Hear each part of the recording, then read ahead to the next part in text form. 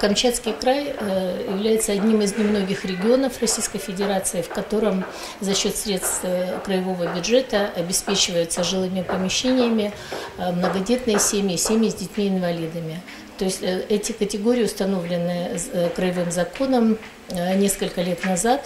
В частности, семьи с детьми-инвалидами получили право на обеспечение жилыми помещениями жилищного фонда Камчатского края в 2012 году. Э, э, сегодня в списке претендентов на жилые помещения э, краевой собственности состоят 560 семей, в которых более 2000 детей.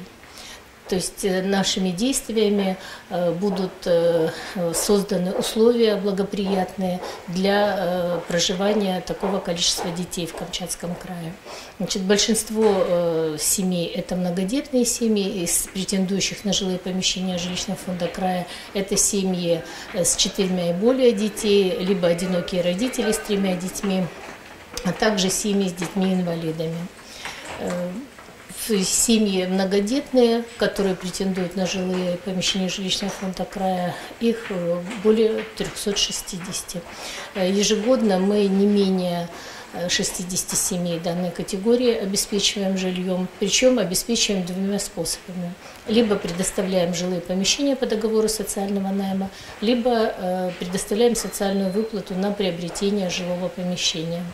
То есть жилые помещения по договору социального найма Э, предоставляются в новых домах.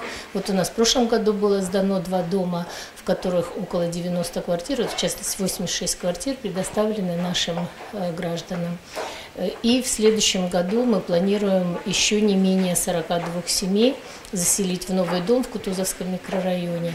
И также порядка 60 семей получат социальную выплату на приобретение жилого помещения. Очень надеемся, что и в дальнейшем э, будем наращивать темпы жилищного обеспечения данных категорий граждан. По всем вопросам, связанным с обеспечением жильем многодетных семей, порядок предоставления, а также условия, которые необходимо соблюдать для обеспечения жилыми помещениями данных граждан, можно узнать на странице Министерства строительства и жилищной политики Камчатского края э, по ссылке «Жилищная политика», либо обратившись непосредственно в Министерство строительства по телефону 42 0037 в Петропавловске.